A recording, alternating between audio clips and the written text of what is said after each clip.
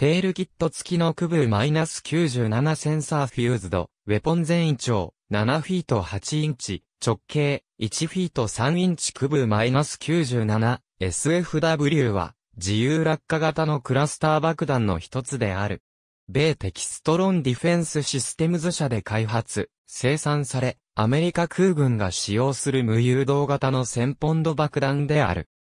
クブー -97SFW は、外角となる、数マイナス -66、B 戦術弾薬ディスペンサーの中に収められた10本の、ブル -108、B 子爆弾集合体から構成され、また、それぞれの BLU-108 子爆弾集合体の中には、4個のホッケーパック型をした sensor fuzed 、投射体、スキートが収められている。空中で分離された多数のスキートが車両を感知して上から自己単造弾を放つ。クブー -97SFW の攻撃方法。1、航空機から投下される。2、設定コードで外皮が爆発切断火薬によって切断、除去され、エアバッグによって小爆弾集合体が空中に押し出される。3、パラシュートによって減速する。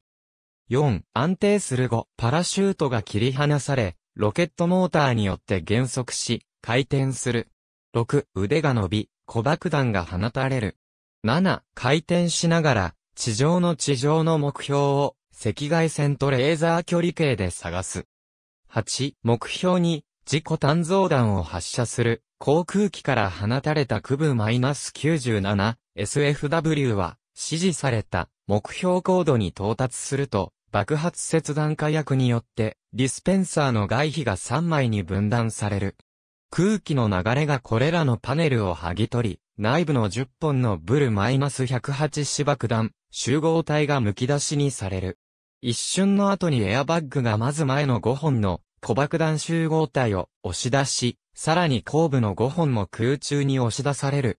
あらかじめ設定された時間間隔を空けて、小爆弾集合体はビブからパラシュートを展開させることで、超音速や亜音速での運動が急減速され、集合体同士は約100フィート間隔で離れて空中を漂う。空中で揺れが収まり次第、各集合体はパラシュートを分離して小さなロケットモーターに点火する。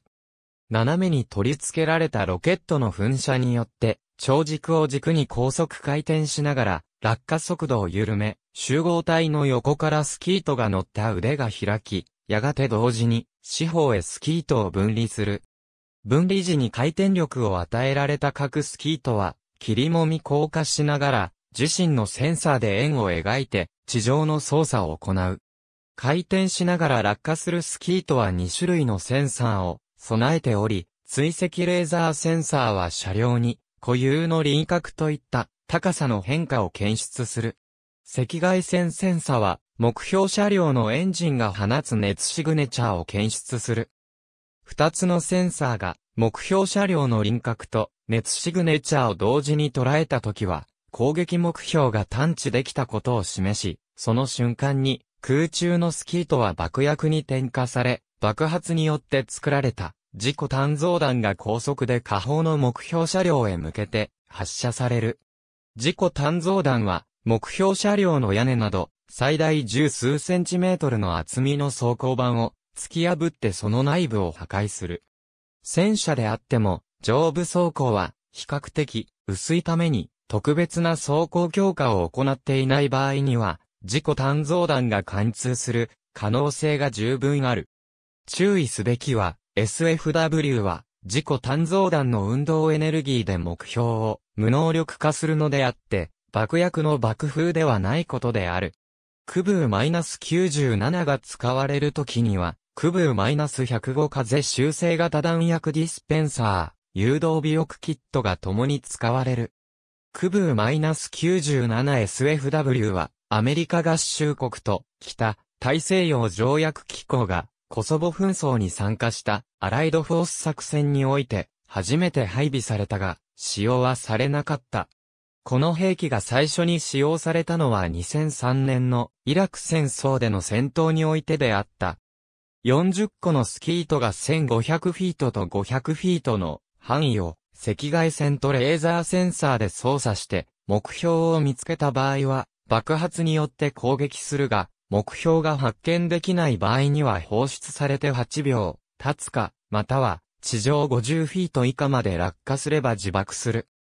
直ちに爆発しないものは降車した敵部隊を悩ませ、周囲の移動を阻害するが、後で民間人を傷つけることにもなる。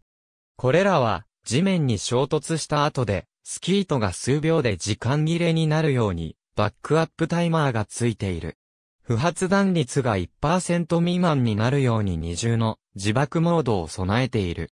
世界的には、クラスター爆弾禁止条約によって、多くのクラスター爆弾の使用が制限されるようになっている。アメリカは、同条約には、不参加であるが、条約の有無に関わらず、国際的に非人道的とされる兵器の使用は、非難を浴びる懸念があるため躊躇あるいは忌避される傾向にある。また、同盟国への武器輸出についても、同条約の参加国に対しては、販売機会そのものが失われている。